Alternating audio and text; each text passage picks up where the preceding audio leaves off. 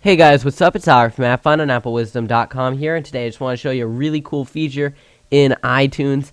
And uh, this is a really nice feature, and you don't need to update anything. You can get this right now on iTunes. And if you take a look here at the top apps or anywhere in music or whatever, you can see in the icon right here, you can see a little information button. If you're just going to click that, what it'll do is it'll pop up with a little screenshot of, um, you know, what the app actually has, Words with Friends, Zynga, uh, it'll show you description, what's new, show you some screenshots, and uh, I think all in all, that's really cool. A really cool feature, definitely added. Uh, this saves a lot of time from having to click on it and go back, and I think this is a nice little feature right here. You can just see right here. Uh, it tells you the description, tells you what's new, shows you some screenshots.